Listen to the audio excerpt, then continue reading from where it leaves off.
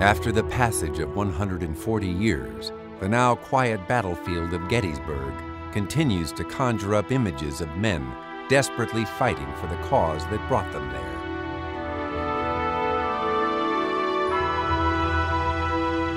Ten thousand Northerners and Southerners gave up their lives at Gettysburg, each an immeasurable loss both to comrades and to their loved ones at home.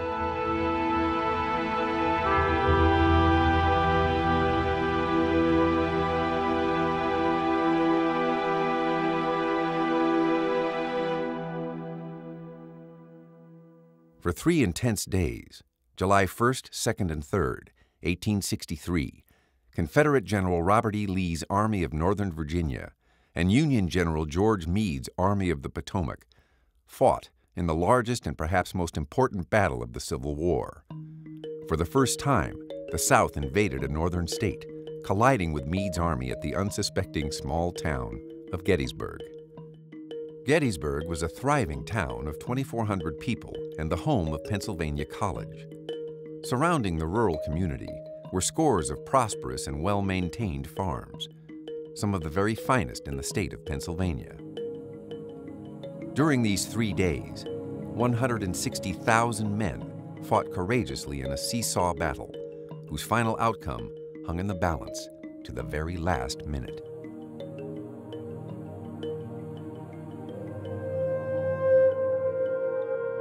Not long after the fighting ended at Gettysburg, the battlefield became a shrine to the soldiers who fought there, North and South.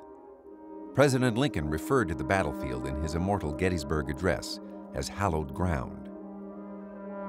After the battle, the men who fought at Gettysburg were acutely aware of its importance in American history and sought to protect and memorialize its grounds. In 1895, the Gettysburg battlefield became a national military park, protected and maintained by the federal government, for all Americans to visit and ponder the great deeds of bravery and sacrifice that occurred there. The stories of many who fought at Gettysburg have been lost forever. Stories of bravery known only to dead men. Others were documented by fellow soldiers and are remembered to this day.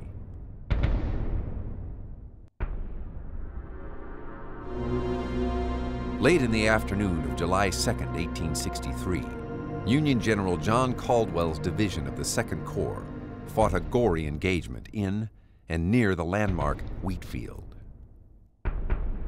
This is the Wheatfield. Some of the fiercest fighting during the Battle of Gettysburg occurred right in this field. Colonel Edward Cross, the 31-year-old colonel of the 5th New Hampshire Infantry, a dynamic persona and warrior, led one of Caldwell's brigades. As he led his brigade southward across the wheat field and into a belt of timber, his men came under heavy fire from elements of General George Anderson's Georgia Brigade. While Cross, wearing a black bandana around his head, cheered on his men, a Confederate rifleman caught the colonel in his sights and squeezed the trigger. The marksman's aim was true.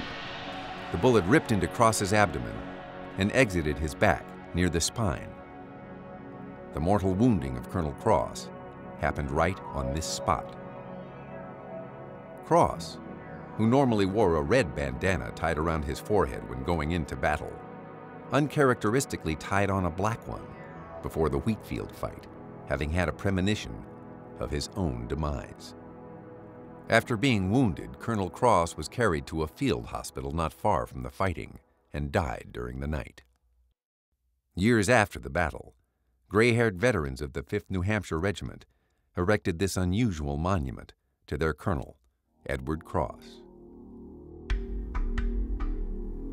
Not far away from where Cross was mortally wounded, another young man, Captain David Acheson of the 140th Pennsylvania, was fighting a grim battle of his own. Young Captain Acheson's Pennsylvania Company held the extreme right flank of the regiment on the south side of Wheatfield Road.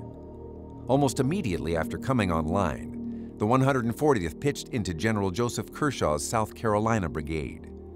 A soldier in the 140th described the atmosphere as hot and heavy with smoke and alive with death or his angels.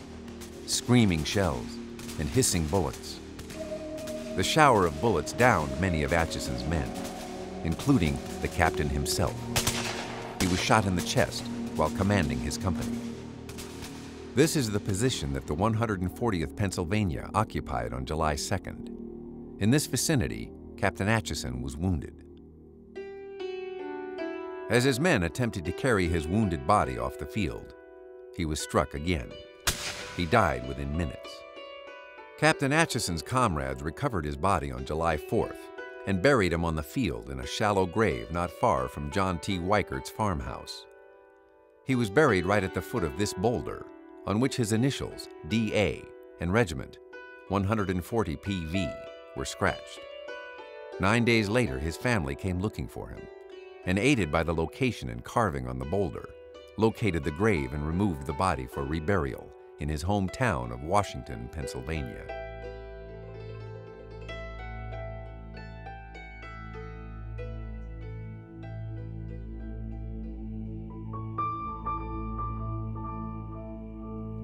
One of the most critically important fights during the three-day battle was the life and death struggle for a rocky prominence known on period maps as the Granite Spur, and today known as Little Round Top. It was here that Colonel Strong Vincent raced against the clock to place his brigade, literally minutes before Evander Law's Alabama Brigade and Jerome Robertson's Texas regiments emerged in strength from the valley, intent on taking the heights, the Achilles heel of the entire Union defensive line. Colonel Vincent is credited with successfully defending Little Round Top in a brilliant deployment of his brigade that is still lauded today by military historians. This is the position where Vincent's brigade fought, where his men began to fall back and were pushed through these rocks. All was pandemonium, and Vincent's line was in danger of crumbling. In the pitched battle, Vincent stood on this rock, personally directing the broken elements of the 16th Michigan back into battle. Standing high on this boulder, silhouetted against the sky and cheering on his men, he presented an easy target to advancing Confederate riflemen. Vincent was hit on his left side, the bullet traveling into his groin, fatally wounding him. After he went down, he was carried to the rear, where he died five days later in a field hospital. The spot where Vincent fell was one of the first sites that early visitors to the battlefield wanted to see. As early as 1864, a crude carved inscription was noted on the boulder that says, Colonel Strong Vincent fell here, commanding 3rd Brigade, 1st Division, 5th Corps, July 2, 1863. Although primitive, the words are among the first permanent markers on the battlefield.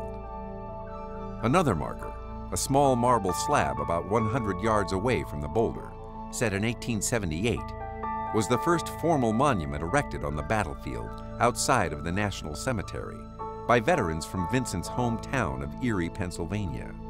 It states, General Strong Vincent, wounded July 2nd, died July 7th, 1863. This monument reflects the fact that Vincent was promoted to Brigadier General on his deathbed after the battle and never knew it. For more than a century, controversy has followed the two separate markers on Little Round Top.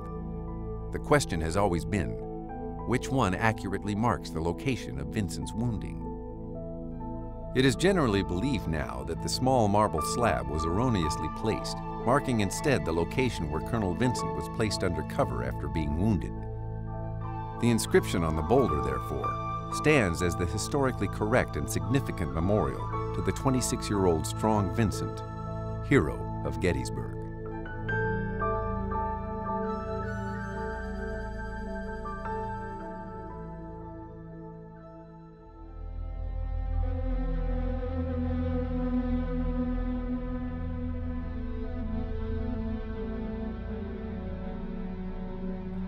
Devil's Den is one of the most recognizable sites on the Gettysburg battlefield, with its enormous natural rock formations. On July 2nd, the fierce and chaotic fighting passed through these enormous boulders, which sit near Little Round Top.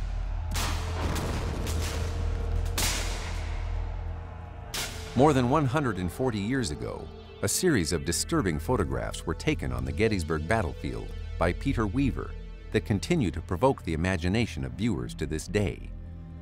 All show dead Union soldiers strewn about the boulders of Devil's Den, an area on the southern part of the battlefield fought over on July 2, 1863. Scholars have long been puzzled by the subject matter, especially the location and appearance of the Union bodies. The bodies shown in the photographs aren't swollen or disfigured, like those found in other works by various photographers who visited the battlefield before all the dead were buried. Normally, bodies begin to putrefy or decompose about one day after death when left outside. This process results in the corpse becoming swollen within 72 hours, as various gases build up within the body. In addition to causing the body to bloat, the gases often severely distort the face and change the color of tissue, often turning it black. Sometimes the dead were bloated so severely that the buttons of their uniform coats came undone, a phenomenon recorded in many period photographs. The natural process of decomposition should have been evident in the soldiers depicted in the Devil's Den photographs, but these men exhibit no sign of it at all. Theories were proposed, but it wasn't until 120 years after the battle that the truth was discovered when a definitive piece of the puzzle came to light. In this soldier's diary, kept by Private Jacob Schenkel of the 62nd Pennsylvania, in an entry dated Wednesday, November 11, 1863, is the answer. Went to Round Top with an artist to take some scenes of the battlefield. Took one scene of dead men. Schenkel's diary entry solved the mystery behind Gettysburg photographer Peter Weaver's famous Devil's Den photographs. The photographs were staged, nearly five months after the battle. Jacob Schenkel, the 23-year-old private, was a willing participant in Weaver's ruse, a clever deception that was accepted as fact for over 100 years. Jacob Schenkel is easily found in many of the Devil's Den photos, lying on the rocks, posed as a dead man for Peter Weaver.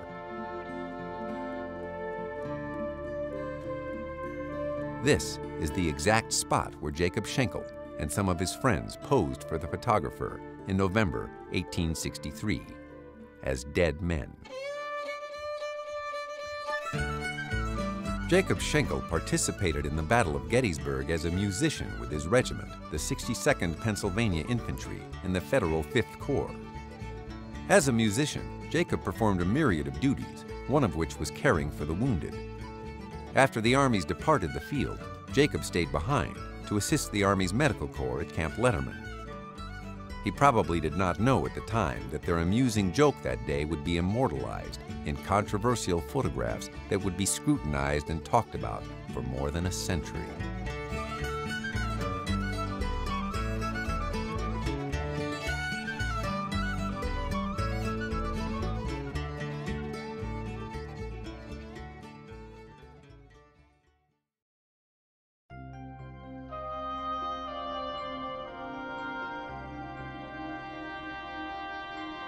This is Gettysburg National Military Cemetery.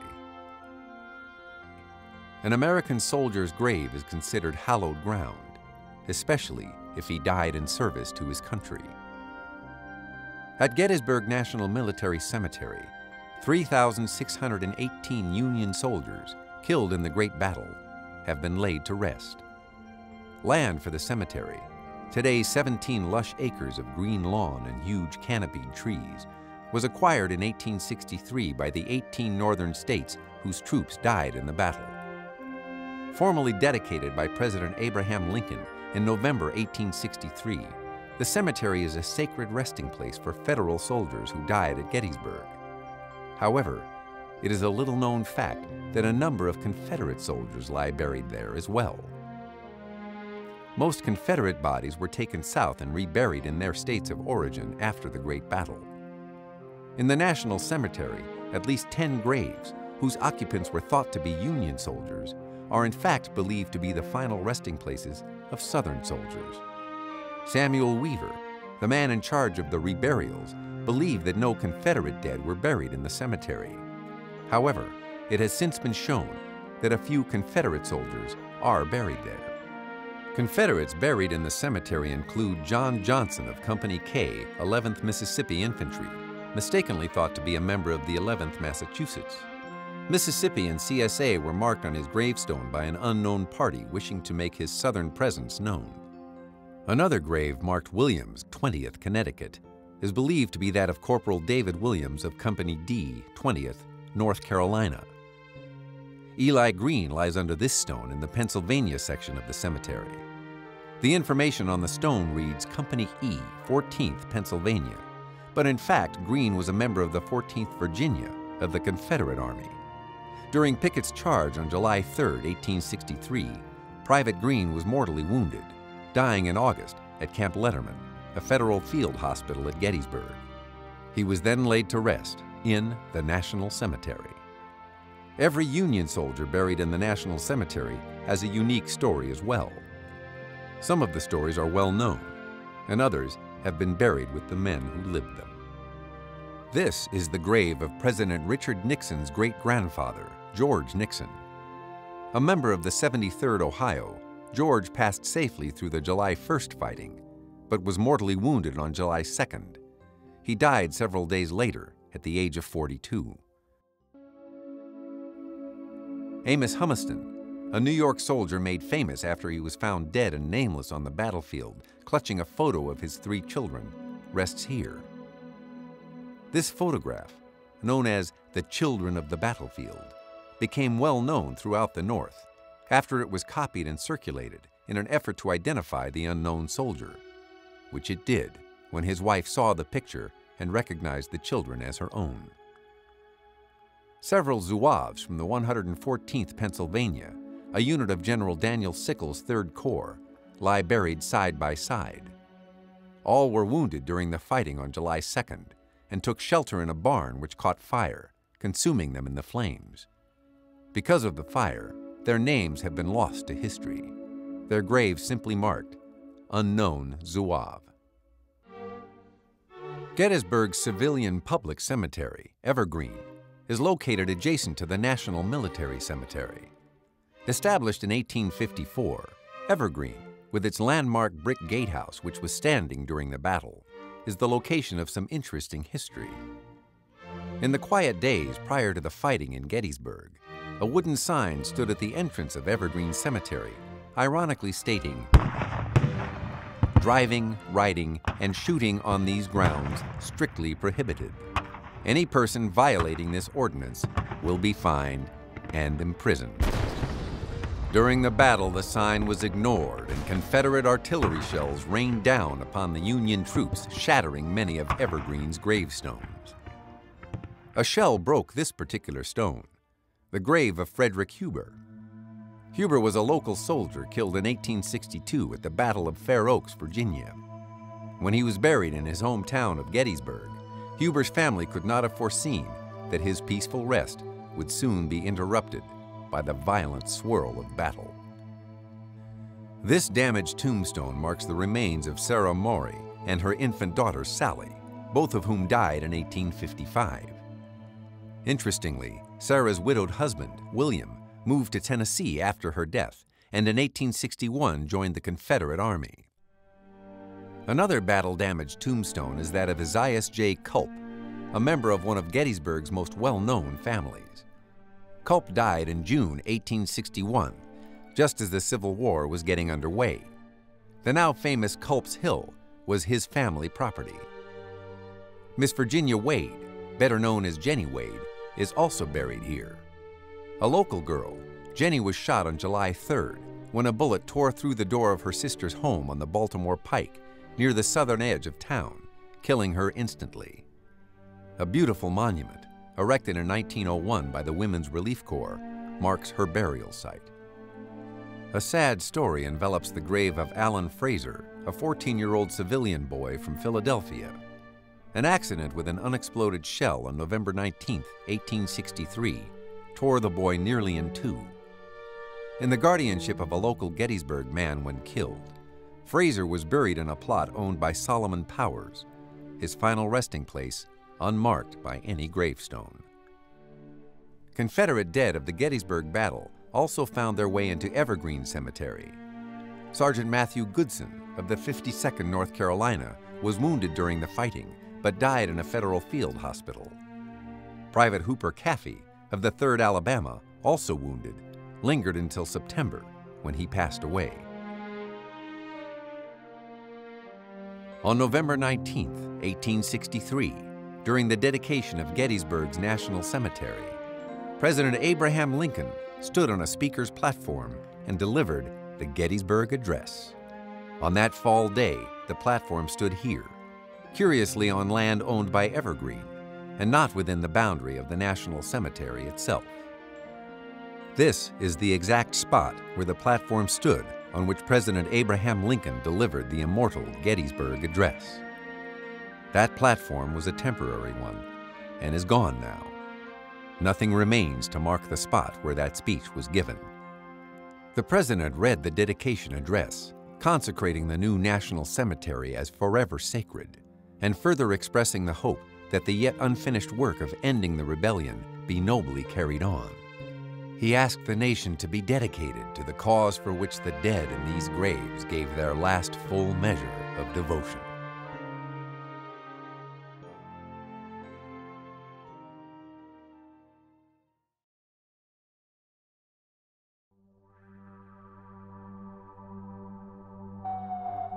In his war memoirs, Lieutenant George Benedict remembered looking up through the smoke during the Battle of Gettysburg at his commanding general, Winfield Scott Hancock.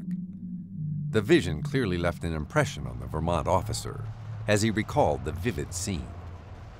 I thought him the most striking man on horseback and magnificent in the flush and excitement of battle, when all of a sudden he uttered an exclamation and I saw that he was reeling in his saddle. Don't let me bleed to death. Get something around it quick, shouted Major General Hancock as he lay wounded at Gettysburg on Cemetery Ridge during the height of Pickett's charge on July 3, 1863. General Hancock had seen many men bleed to death from wounds and knew that he must have immediate attention or his life would be in grave danger. A longtime resident of Norristown, Pennsylvania, and an 1844 graduate of West Point, Hancock had been struck while commanding the Federal Army's Second Corps as it was desperately trying to repulse Pickett's assault on the Union center. Before he fell, the general made a conspicuous target, moving on horseback among his men. It was said that officers nearby had advised Hancock to dismount and remove himself from the danger, but the Corps commander refused preferring instead to remain visible to his men. General Hancock's conduct at Gettysburg was typical of the man, who ranked among the finest generals in the Union Army.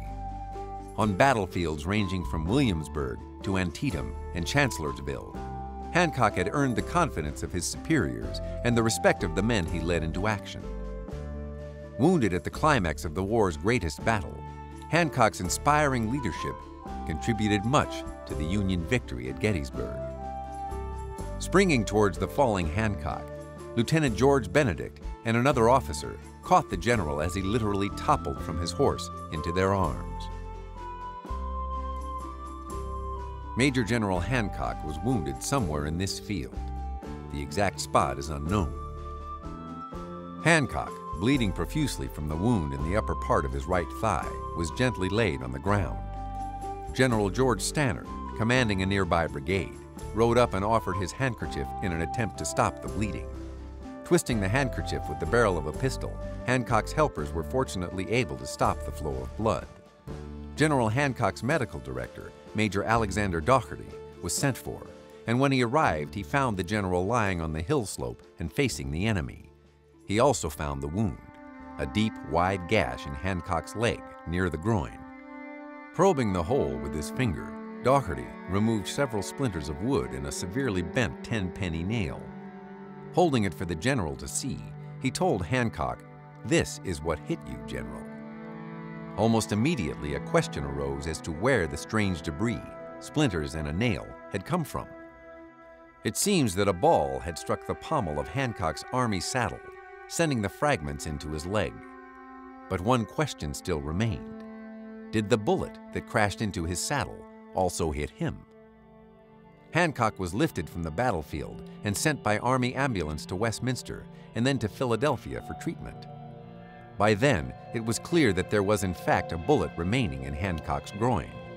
An Army surgeon, Lewis Reed, was brought into the case and performed the surgery that eventually removed the bullet. Hancock's wife, Almira, reported that the general's wound was probed thoroughly for six weeks before the ball was extracted by a painful operation.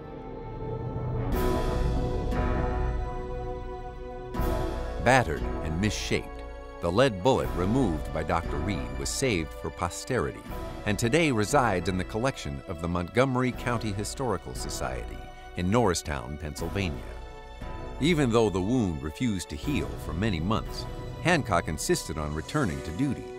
He continued to command his old Second Corps through much of Grant's 1864 campaign, often traveling by ambulance, incapacitated by the pain and infection created by the injury. By fall of 1864, Hancock's health was so bad that he could no longer function as a field commander. Assigned to lighter duty, the end of the war found General Hancock in command of the Middle Military Division, headquartered in Winchester, Virginia, when Lee's army surrendered on April 9, 1865. A few days later, on April 14th, the elation of victory in the North turned to horror when President Abraham Lincoln fell victim to an assassin's bullet. Shot in the head by an actor, John Wilkes Booth, while attending a play at Ford's Theater, Lincoln died the following day. In response to Lincoln's assassination, Hancock was ordered to transfer his headquarters to Washington and take charge of the military's role in the crisis. While Booth died in a shootout with federal troopers on April 26th, four others who had conspired with him were tried by a military commission, found guilty, and were sentenced to death by hanging.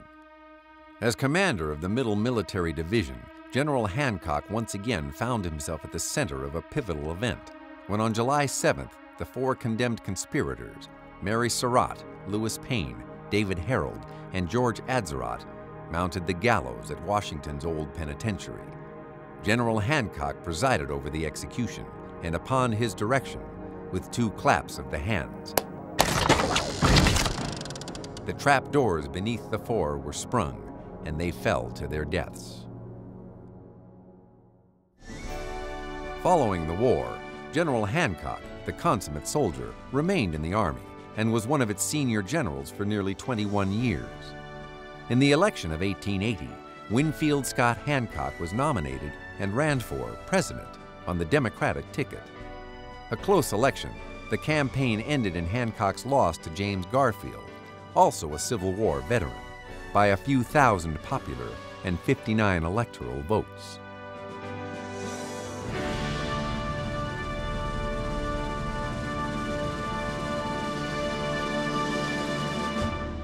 Hancock never fully regained his health as a result of complications from the wound he received at Gettysburg. 21 years after the end of hostilities, the 61-year-old Hancock died at his quarters on Governor's Island, New York on February 9, 1886. News of his death spread quickly. Words of condolence poured in to his widow, Almira. President Grover Cleveland spoke for the nation, telling Mrs. Hancock that the heroism and worth of your late husband have gathered to your side in this hour of your affliction, a nation of mourners. General William T. Sherman spoke eloquently of the general, saying he regarded Hancock as one of the greatest soldiers in history. Even former enemies remembered him with reverence. Former Confederate General Fitzhugh Lee stated, he was a noble, gallant fellow. Virginia and the South will deeply regret the death of a generous soldier a courteous gentleman, and a strong, firm, and constant friend. After lying in state at his residence on Governor's Island, Hancock's body was transported by steamer to Manhattan. On February 13th, a horse-drawn hearse with full military escort bore the coffin of the general up Broadway to Trinity Church, where the funeral service was held. After the services, a train carried Hancock's coffin to Norristown, Pennsylvania, the general's hometown. Arriving in Norristown, the funeral procession made its way to Montgomery Cemetery, where General Hancock was laid to rest in a private mausoleum which had been erected in 1883 for he and his family. Lying at rest in the Hancock Mausoleum are General Hancock himself and the remains of Ada Elizabeth Hancock, the general's daughter, who died in 1875. The body of Almira, his devoted wife who lived until 1893, does not rest with the general, but is buried in St. Louis, Missouri, her place of birth. The life of Hancock the Superb had been interwoven into some of the most developmental and critical moments of American history. From West Point to Gettysburg to the presidential campaign trail, Winfield Scott Hancock was a model soldier as well as a highly regarded national hero.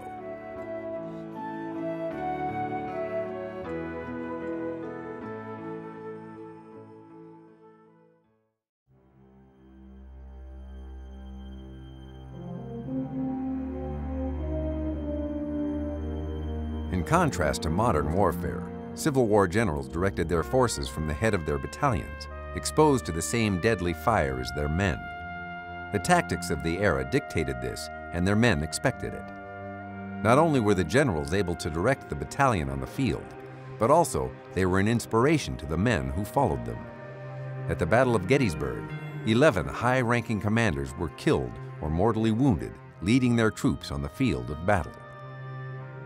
Perhaps the most memorable death at Gettysburg was that of Confederate General Lewis Armistead at the height of the Confederate assault on July 3, 1863. The assault, ordered by General Lee, began on Seminary Ridge and consisted of 12,000 Confederate troops. The spearhead of the attack was General George Pickett's Virginia Division, composed of three brigades, one of them commanded by Brigadier General Lewis Armistead. The attack's objective, the Federal line, lay across nearly one mile of open ground on Cemetery Ridge. When Lee's long battle line began the assault at approximately 2 p.m., the spectacle of thousands of gray-clad troops marching toward them left the waiting Federals in awe. Advancing under long-range artillery fire, Pickett's Virginians held their formation together quite well until reaching the post and rail fence lining both sides of the Emmitsburg Road several hundred yards from the Federal line. It was there that the attackers came into musketry and canister range and began to suffer horribly. Many climbed or broke through the fence and surged toward the Union line, but the intervening ground was a killing field, and many fell dead and wounded, literally in heaps. General Armistead and a small number of his Virginians were among the few Confederates who reached the Union position and gallantly penetrated the portion of the Union line on Cemetery Ridge held by the 71st Pennsylvania. With his hat stuck on the tip of his sword, the general shouted as he ran, Come on, boys, we must give them cold steel. Who will follow me? A hundred or so men responded to Armistead's plea and with the general surged over a low stone wall into the midst of Lieutenant Alonzo Cushing's Union battery. Just as the Virginians came over the low stone wall at the angle, the 72nd Pennsylvania Infantry stepped into the breach and unloaded a crippling volley at point-blank range into Armistead's men. Two balls from this volley struck General Armistead as he reached out to claim the muzzle of one of Lieutenant Cushing's abandoned guns. As he fell to the ground, in great pain from wounds in the arm and leg, he yelled, My mother is a widow, a coded phrase recognized by brother members of the Masonic Order as a distress signal. Fortunately, the secret signal was understood, and the painfully wounded Armistead soon drew help from several Federal soldiers. A Federal officer and Brother Mason, Captain Henry Bingham, rode up and took control of the situation. The wounded Armistead handed Bingham his pocket watch and asked him to relay a message to General Hancock, an old Army friend who commanded the 2nd Corps units defending Cemetery Ridge. Armistead did not know, but his friend Hancock was close by, also severely wounded. Unable to walk, Lewis Armistead was moved from the field to the farm of George Spangler, where a field hospital was in operation. Examining the wounded general, the surgeons thought his wounds to be non-mortal and were shocked when the Virginian died on the morning of July 5th. One surgeon who treated Armistead remembered the general telling him he was worn out from overexertion and mental anxiety, and concluded that the 46-year-old Virginian died from secondary fever and prostration. Like many others, General Armistead was initially buried at Gettysburg. His remains later moved to Baltimore for final burial. In December of 1887, this monument was erected by veterans of Alexander Webb's Union Brigade and Cushing's Battery, the very men who he faced 24 years earlier in battle. Those who erected the monument believe that it marked the exact place where General Armistead received his mortal wounds. In fact, they were in error, for the general was felled 10 feet or so inside the stone wall at the angle. Even though this small granite monument is incorrectly set, it does commemorate an incredible moment during the battle and one of the bravest of the brave who fell at Gettysburg.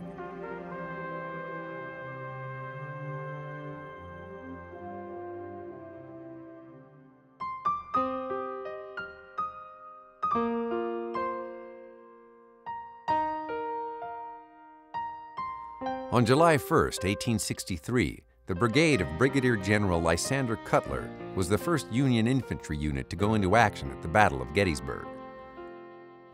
In a desperate struggle against three Confederate regiments, the 147th New York Infantry, under Cutler, fought hard that morning until it received orders to quit the field. Their gallant fight took place on McPherson's Ridge, just west of Gettysburg, and cost the regiment dearly.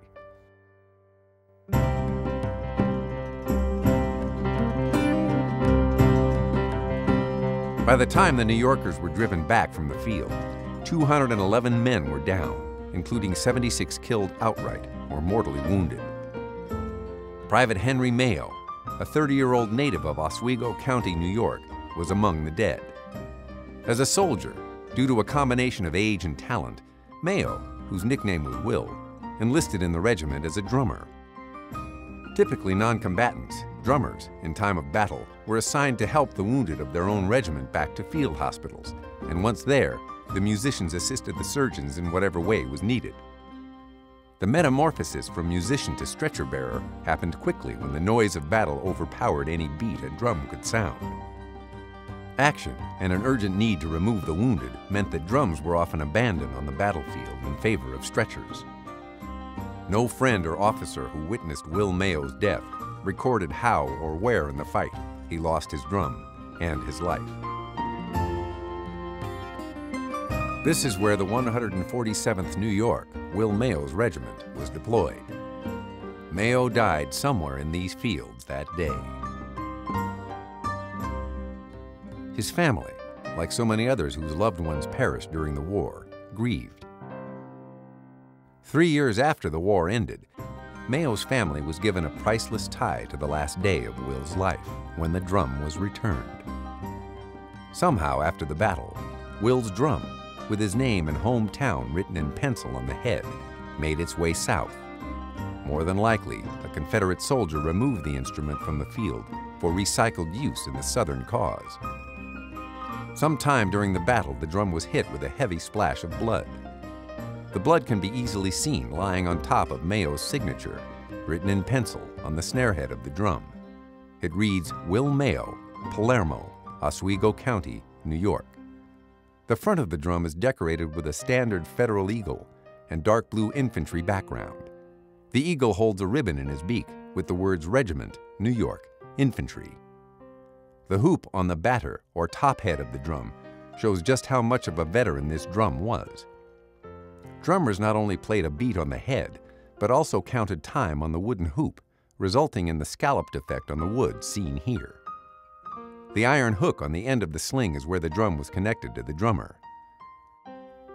To this day, the drum remains an undying reminder of Will's life.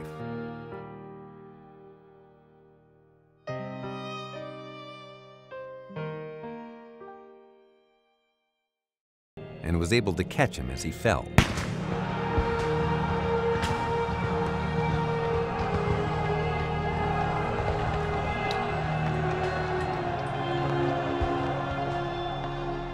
Hamilton also noted that Fisher did not speak one word from the time he was struck until his death. Just as Lieutenant Fisher was shot, the 10th Infantry received orders to fall back. Confederate troops were dangerously close to surrounding the small battalion. Unable to carry Fisher by himself, Lieutenant Hamilton called for help to remove the dying officer from the field. Several rushed to his side, including Lieutenant Robert Wells, who had also witnessed Fisher's wounding. Fisher was carried some distance where Wells and the others laid him down for a moment. Soon another man, a sergeant from Lieutenant Fisher's company, came along and joined Wells and Hamilton in raising the bleeding lieutenant from the ground. They had barely gotten underway when the sergeant was hit. Taking charge, Wells then raised Fisher in his own arms and carried him down the hill. The dying Fisher was carried across this field to Plum Run just in front of Little Round Top.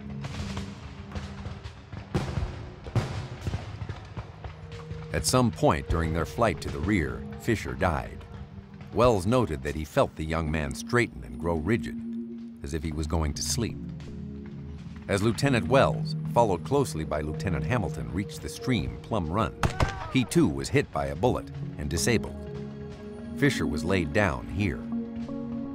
With both the sergeant and Lieutenant Wells wounded, and the enemy flush with victory closing in, Lieutenant Hamilton, now by himself, reluctantly gave up Fisher's body and made good his own escape. Shortly after Lieutenant Fisher was carried back and at last left by Lieutenant Hamilton, more Union troops arrived on the field, stopping the Confederate thrust and ending the fighting on that portion of the field by sunset.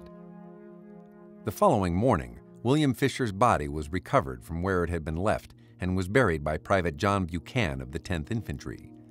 Like others, Private Buchan also took time to write an emotional letter to the elder Fisher. Buchan surmised that poor William had been shot just below the heart on the left side and had expired quickly. Buchan went on to explain that after digging a grave, the body was wrapped in a clean blanket and carefully lowered into the ground. Private Buchan, who admired the youthful lieutenant, was moved to say that he thought as much of the departed as if William had been his own brother. To mark the spot of Lieutenant Fisher's burial, Private Buchan found a piece of a wooden cigar box, on which he cut the lieutenant's name with a pocket knife, filling in the carving with a lead pencil to make it readable. This made it possible for Isaac Fisher to find his son's grave, located on the farm of Jacob Weikert, along a crop fence. When Mr. Fisher shipped his son's remains home, a carved wooden tag reading W.J. Fisher, late First Lieutenant, 10th U.S. Infantry, went with it. Both of Lieutenant Fisher's shoulder strap insignia were saved as a memorial, cut from the coat he was wearing at Gettysburg. The careful labeling and removal of William Fisher's body enabled the former lieutenant to go home to rest. Most of Gettysburg's dead were not as fortunate.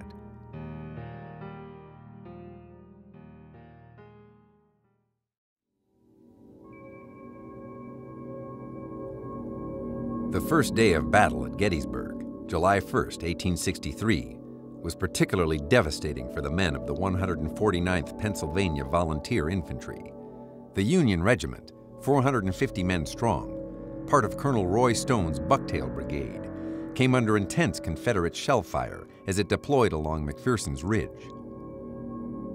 Remembering the deadly barrage years later, Captain John Bassler of the 149th recalled, the havoc created by a shell exploding as it struck along the men of Company B, and how one wounded man came hopping down along the line on hands and feet, crying out, I am killed, I am killed. The regiment, posted in a shallow ditch along the south side of the Chambersburg Pike, faced north in an effort to escape the Confederate artillery fire coming from Oak Hill. Confederate batteries, posted along Herr Ridge to the west, observed the 149th change position and opened fire, raking the regiment's left flank. The Bucktails' change of position had brought them under an intense and deadly crossfire. Captain John Bassler likened it to jumping out of the frying pan into the fire. The Confederate batteries continued to rain shells into the ranks of Colonel Stone's brigade.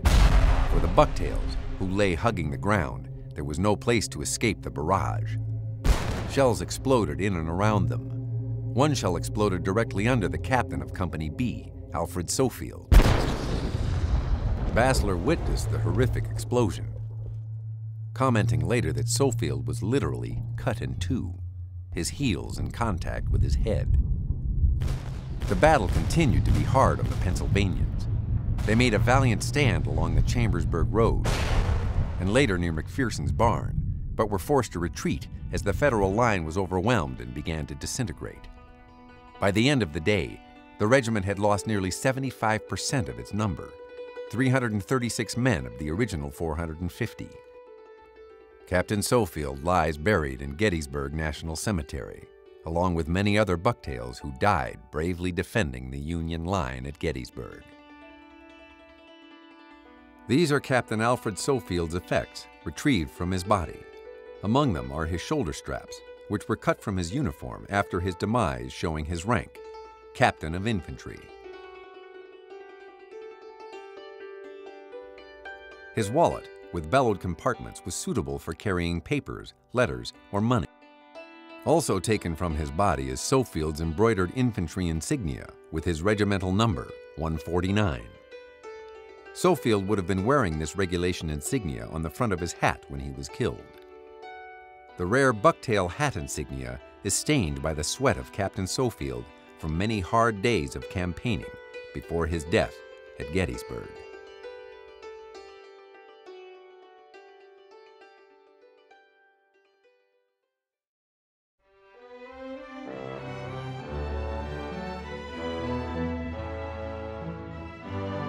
On June 19, 1863, David Myers, a private in the 87th Pennsylvania Infantry, returned to his hometown of Gettysburg, Pennsylvania.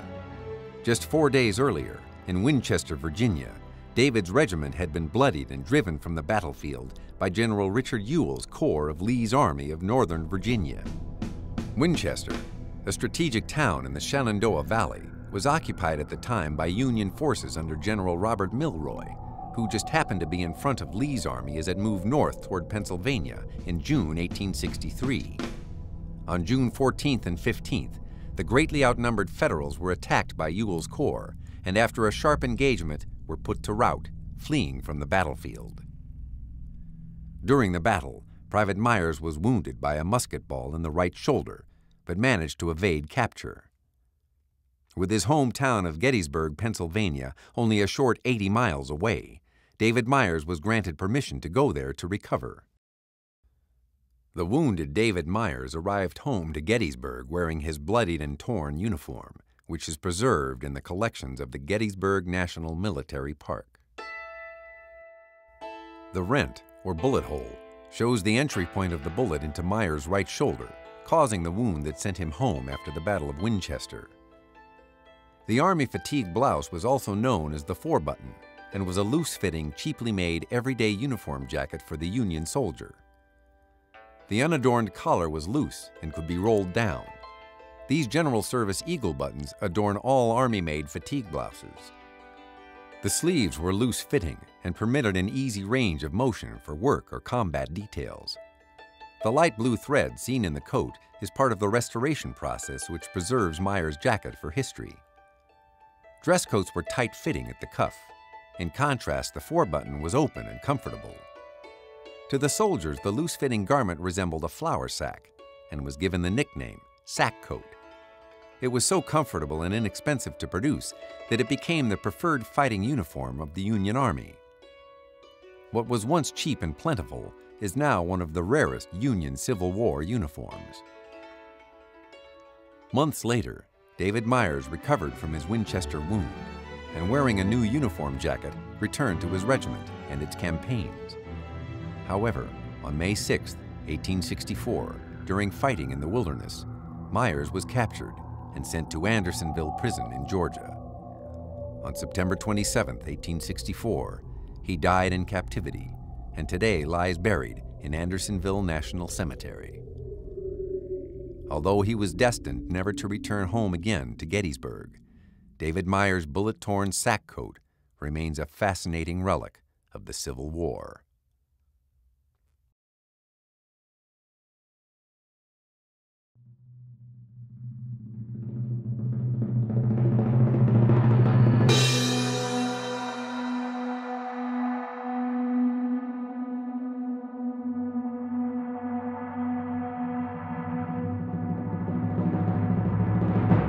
Fields west of Gettysburg were the scene of the opening of the great battle. By evening on July 1st, the ground and the day belonged to the invading Confederate Army. Among the thousands of wounded lay a 69-year-old colorful local resident, John L. Burns. Earlier that day, Burns shouldered his outdated flintlock musket and powder horn, then made his way to the battlefield to fall in with the Federal Army. Apparently, he was not willing to wait out the fight like the majority of the citizens in town. The old man was a well-known character in Gettysburg before he won the title Patriot during the battle. He was a veteran of the War of 1812, a longtime city constable, and the target of pranks by local boys in town. He tried to enlist twice, the first time with a company being recruited in the Gettysburg area, and the second time in Maryland, but was refused both times due to his age. It was his willingness to join the fight on July 1, 1863, that propelled him into the national spotlight. Walking from his home on Chambersburg Street, Burns headed directly to the sound of the guns nearly half a mile west of town through these fields. On approximately this spot, he approached a federal officer and asked permission to fall in and fight. Dressed in what was certainly an odd costume for the day, a black top hat, swallowtail coat, flintlock complete with powder horn and a pocket full of bullets, the rumpled, elderly man approached several federal officers. The first, Colonel Langhorne Wister of the 150th Pennsylvania, questioned the prickly Burns about his intentions and ability to fight. Satisfied with the saucy old man's patriotic commitment, but uncomfortable with risking the life of a civilian, Wister directed Burns to take up a position in the cover of the woods close by. Disappointed, but not done trying to join the fight in open ranks, Burns made his way to the woods and found the commander of the 7th Wisconsin near this spot and pleaded with him to join the fight. After listening, he gave Burns permission to fall in with the Wisconsin boys and fight in these woods. Although Burns's wish to fall in was granted, he grew impatient with waiting for the enemy to advance and left the ranks of the 7th to go forward and join the skirmishers. It was there that a Wisconsin soldier observed Burns take aim and drop a mounted Confederate officer. Burns was never out of danger. During the fight, he was hit by at least three bullets, one in the arm, one grazed and paralyzed his leg, and another glanced off his belt, knocking him speechless for a brief time. Burns shrugged off the arm wound, saying he felt a stinging sensation in his arm and noticed the blood on his hand, but supposing it a flesh wound, kept on fighting. The wound to the leg, though, ended his spirited fight, and he was left on the field unable to move. Later, the crippled Burns was rescued and taken to his home, where he began the road to recovery. In the search for immediate heroes after the battle, the press was naturally drawn to the story of the aged, wounded veteran. Mathew Brady, as well as other photographers, visited and photographed the hero at home while he recovered from his leg wound. Old Burns enjoyed the attention that a once lonely man craved. John Burns had many visitors in the months after the battle, but none more recognizable than President Abraham Lincoln, who had come in November to deliver his dedication speech at the new National Cemetery. After touring the battlefield, Lincoln sought out the unlikely celebrity, and the two walked, arms linked, around the town square and up Baltimore Street to attend a service in the Presbyterian Church. For the nine remaining years of his life, Burns remained a local celebrity and often was asked to guide tours of the battlefield. On one visit, Burns claimed he saw the ghost of a man he had seen during the fight on that very spot. The apparition beckoned to Burns, but he chose not to answer it. He left the field, never to return, stating he could face live men, but was not ready for warfare when the dead came back.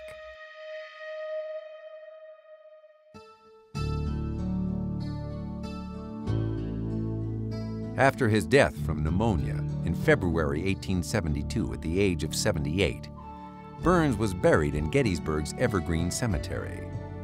The present stone marking his grave was erected in 1904, the word Patriot prominently carved on its face. The contribution made by the wiry old man was immortalized 40 years after the battle with this bronze statue.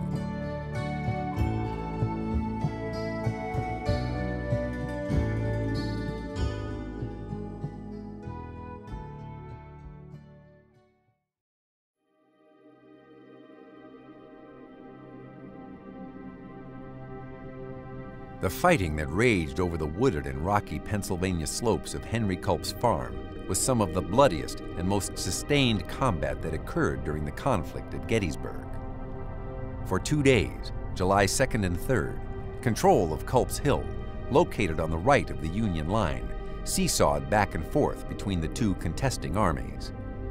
The Army of the Potomac was the first to occupy the strategic position on the evening of July 1st. But by the following evening, July 2nd, the fortunes had shifted as the federal troops defending Culp's Hill were overrun by a daring and decisive attack by Confederate forces of General Richard Ewell's corps. In an attempt to reoccupy their lost position, Union generals on the field developed a plan to counterattack and retake Culp's Hill. The attack opened as planned on the morning of July 3rd, Union forces colliding with a furious simultaneous Confederate attack. For the next seven hours, fighting raged back and forth over Culp's Hill.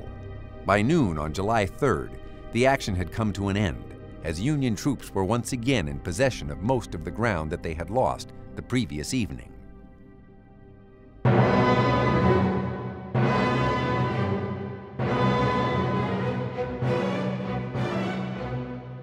Today, some 140 years later, the landscape of Culp's Hill is serene and austere with its combination of woods, rock outcroppings, and open meadow.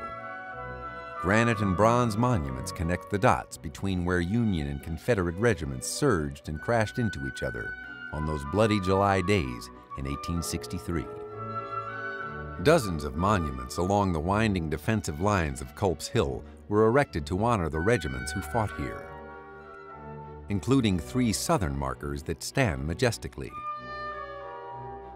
The first commemorates the service of the 2nd Maryland Infantry and was dedicated by veterans of the battle in 1886.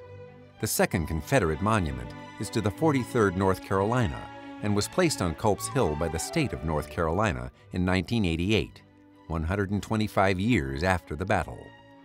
A third, more unusual Confederate marker can be found just off the beaten path among the boulders near Spangler's Meadow at the foot of Culp's Hill. During the 50th reunion of the battle, Augustus Coble of the 1st North Carolina Infantry took his granddaughter here to show her the site where he had fought so many years before. To preserve the experience for her, he carved his name and regiment into the very boulder where he spent two days fighting on the hill. It reads A. L. Coble, 1st North Carolina Regiment. Nearby, on the southern slope, in an open field, known today as Spangler's Meadow, a gallant and desperate charge was made on July 3rd by a Union regiment, the 27th Indiana Volunteer Infantry, against General William Smith's Virginia Brigade, which held a position in the woods just beyond the meadow.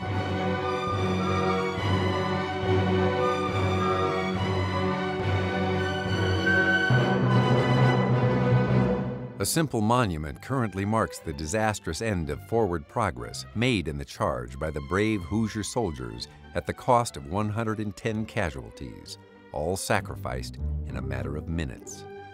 The now peaceful hill and meadow was anything but serene after the fighting ended on July 3, 1863. Wrecked landscape and human carnage littered the ground. The dead and wounded of both armies lay everywhere. More damaged, the Confederate Army retreated across Rock Creek, leaving all of their dead and most of their wounded behind. The immense task of removing the wounded and burying the dead was left to the Union Army. In the case of the dead, enemy soldiers were collected and buried, unrecorded, in mass graves near where they fell. Because no attempt was made to identify the bodies of the Confederate dead, their identities were lost for all time. Those mass graves are gone now, the human remains removed from the battlefield in the 1870s and reinterred with honors in southern cemeteries. A hollow depression, the shadow of one of the mass graves, can still be seen today on Culp's Hill, in the woods behind the monument, to the 2nd Maryland CSA Infantry. The men fighting and dying on Culp's Hill were not the only casualties of the tremendous struggle. All around them, as the fighting raged, the trees and rocks were being struck by small arms and cannon fire. Union General John Geary, who commanded the 2nd Division of the Union 12th Corps, one of the units defending Culp's Hill, reported that his men fired 277,000 rounds of ammunition on July 3rd alone a sure indication of the intensity of the raging battle. Photographers who visited Gettysburg days after the battle and in the years to follow were fascinated by the destruction evident on the wooded eminence and took many images documenting the shattered nature of the forest. Today, most of the timber that stood on Culp's Hill during the Great Battle is gone, replaced by a century-old growth of large trees.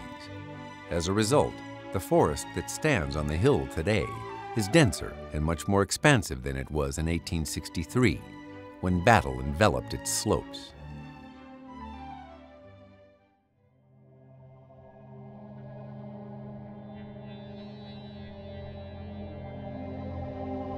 War knows no boundary, its appetite often consuming far more than the battlefield and those on it. Frequently, the advancing war machine damages the stability of the local population as well as causing devastating collateral property damage.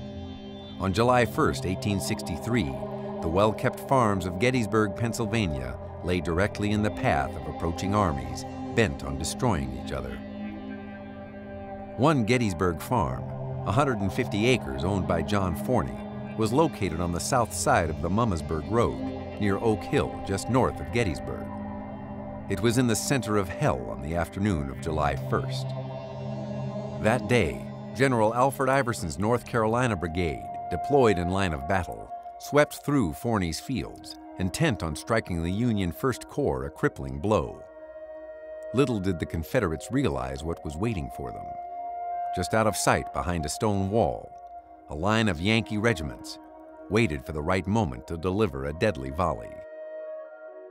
Iverson's men came from the right. The Union soldiers General Henry Baxter's brigade, waited until Iverson's line approached to within 100 yards of their position, and with a crash, let loose a deadly volley. Shocked by the surprise enemy fire, a North Carolina officer on the unfortunate receiving end dove to the ground and recounted later that every man who stood up was either killed or wounded. Another member of Iverson's brigade recalled his regiment lying down in a hollow for protection but as such, they were unable to advance and unwilling to retreat. Trapped by crippling fire, the battalion fought the best it could. Hundreds of Iverson's men were shot down within minutes. Victory at hand, Union General Henry Baxter ordered his boys to rise and shouted, Give them steel! The motivated Federals jumped over the wall, rushed forward, and began to take many of the pinned down Confederates prisoner. Iverson's once fine brigade had been destroyed, the general himself remarking that his men were lying dead in a line as straight as a dress parade. While the fight raged in Forney's field, his home and barn were being peppered by small arms and artillery fire. When the fight was over, Forney, who fled his property before the battle erupted, returned to find his home, barn, and fields showing the scars that only battle can deliver. In addition to the outright damage, Many fallen Confederate soldiers were buried where they fell in his field. In this area, more than 150 of Iverson's men were buried in a mass grave. The area later became known as Iverson's Pits. For many years after the battle, the pits were avoided by superstitious local farmers who considered the fields haunted by the dead. Five years after the battle, in 1868, John Forney, like 800 other Gettysburg residents, filed a damage claim with the state government to reclaim some of the loss of property as a result of the battle. His claim lists 3,891 fence rails burned, shell and bullet damage to the house and barn, window curtains lost, much household property carried away or destroyed, 30 acres of grass and 10 acres of oats used, and 22 acres of wheat destroyed. Forney's loss, both in personal property and real estate, came to $1,162, or roughly $15,000 today. It is almost certain that little, if any, money was ever paid him by the government. The Forney house and barn no longer stand on the battlefield, razed in 1937 after it was determined that they were dilapidated and beyond the resources of the Park Service to save. Pieces of its structures, however, were salvaged and are part of the collection of the Gettysburg National Military Park Museum. A shell hole is visible near the knee brace in this section of timber preserved from the Forney barn. As seen here, the house took a direct hit from a 3-inch shell it plowed through the structure just between the first and second floors. The trajectory of the shell can be traced through eight of the wood boards. Near the end of its path, it lost a lead sabot, which remains in the preserved framework today. A sabot is a lead sleeve attached to the iron shell, which expands in the rifle grooves in the cannon when the shell is fired, giving it spin. Where the shell landed is unclear, but its path of destruction is evident. This pitcher and basin set is from the Forney house. They too were damaged during the battle. Amazingly, the basin was not shattered, but has a clean hole through it. And the handle of the pitcher has been blown away. This quaint English pastoral scene on the basin is quite a contrast to the violent battle that raged over the Forney farm on July 1, 1863.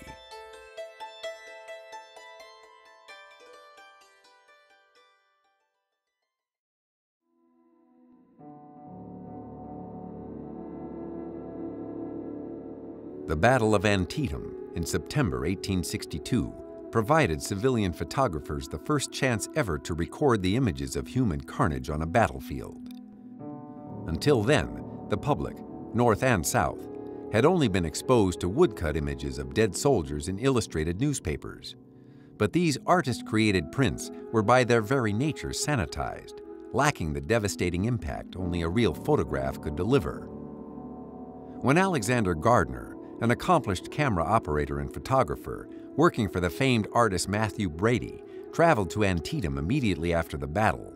He captured on glass plates a series of stunning portraits of the dead littering the field that, when published, changed forever the public perception of the war. Large quantities of those battlefield photographs were circulated in the North. The Antietam series became a commercial success for the Brady Gallery, as curious people purchased them intrigued by the dark subject matter. From that time on, post-battlefield scenery became a commodity to enterprising, primarily northern photographers. Nearly as soon as the fighting ended, photographic wagons were seen on the field, searching for interesting subject matter. By the Battle of Gettysburg in July 1863, fertile ground was available to the growing trade. The enterprising Alexander Gardner now the owner of his own photographic gallery, was the first photographer to capture the horrible aftermath of the great battlefield in Pennsylvania. Arriving at Gettysburg from Washington, D.C. on July 5th, Gardner and his crew of two photographers found many unburied dead, both north and south, still lying on the ground. The morning of July 6th found Gardner busy at work recording images. Many bodies, mostly Confederate, remained unburied, with a sizable number in the vicinity of the Rose Woods. There, Gardner captured several now famous graphic images. Finished with the woods, he ventured into an area of the battlefield now known as Devil's Den, the scene of heavy fighting on July 2nd, where more unburied dead lay. There, Gardner found a number of severely bloated Confederate bodies among the jumbled rocks of the den and captured many intriguing and historically important photographs. One Gardner image in the series particularly caught the public's eye, as it became perhaps the most famous after-battle photograph ever recorded. Extensively published over the past 100 years, the photo shows a young Confederate soldier lying dead on the ground behind a stone breastwork, erected between two large boulders, his personal belongings scattered about, and a musket leaning nearby. Another of Gardner's Devil's Den photographs reveals a youthful, almost tranquil Confederate lying on his back, his uniform coat unbuttoned, musket and cap lying close by. When both photographs are compared side by side, it becomes clear that the deceased individual in each view is the same man. How is it possible that one dead soldier is present in two locations? The answer may never be truly known, but some historians theorize that Alexander Gardner's crew moved the body from one position to another to capitalize on the unusually well-preserved corpse and photograph it as many times as possible.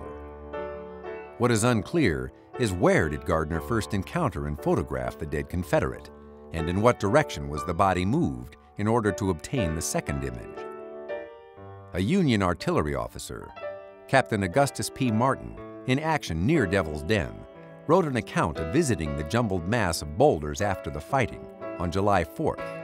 Martin's account, written 36 years after the battle in 1899, describes finding a dead Confederate soldier lying on his back behind a wall. The captain noted that the Confederate didn't have a mark on his body, leading Martin to think he was probably killed by the concussion from an exploding shell nearby. If this report is correct, then it firmly establishes the dead soldier as originally being killed near the stone wall. Unless a new period account surfaces, historians will likely never know which photograph was taken first.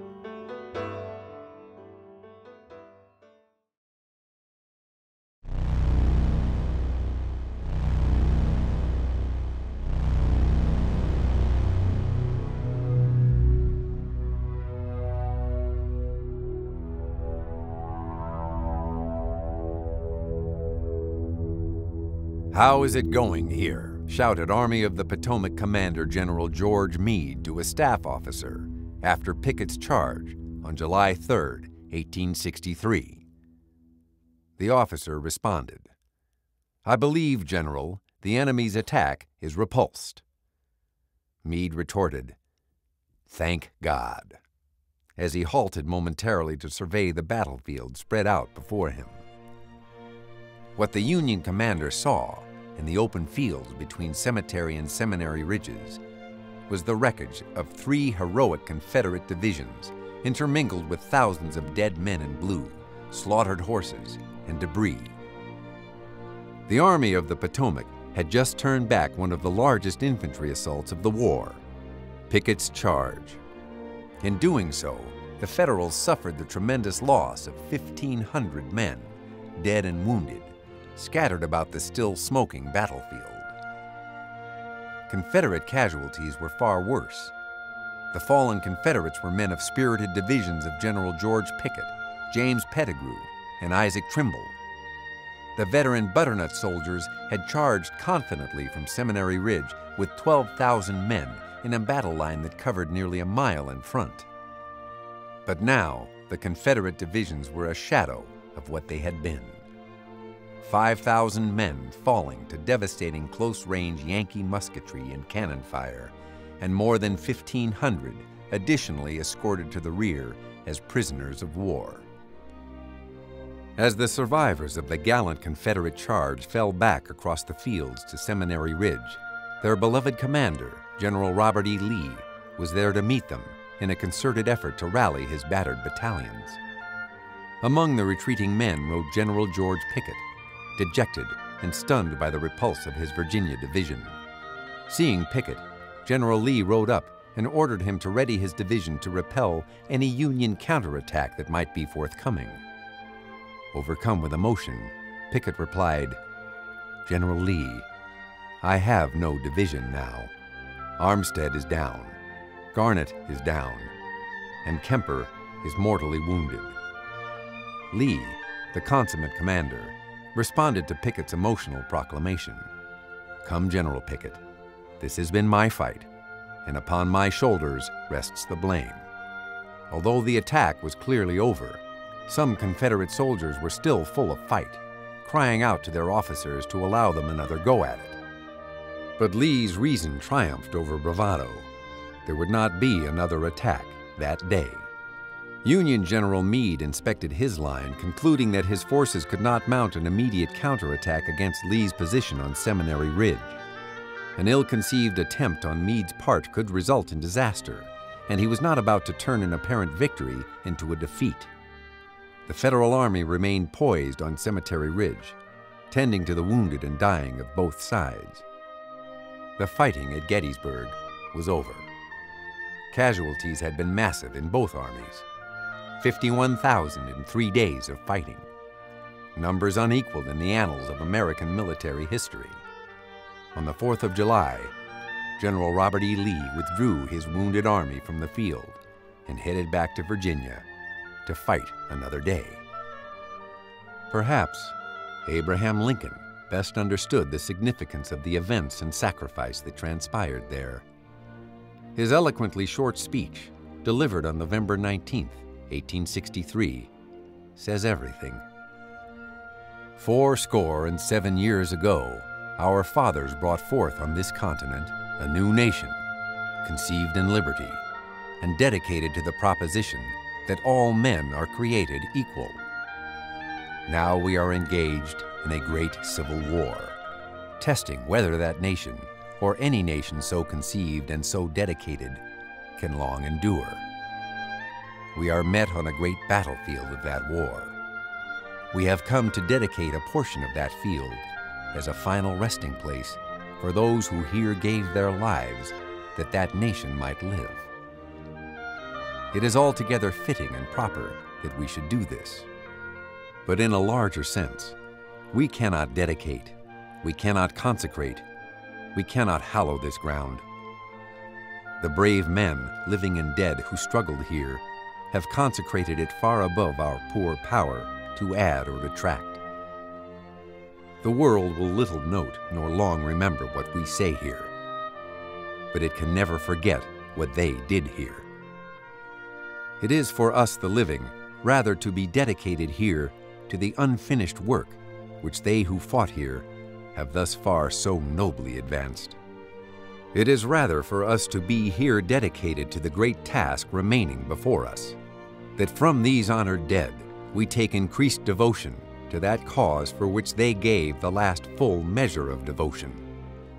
That we here highly resolve that these dead shall not have died in vain, that this nation, under God, shall have a new birth of freedom, and that government of the people, by the people, for the people, shall not perish from the earth.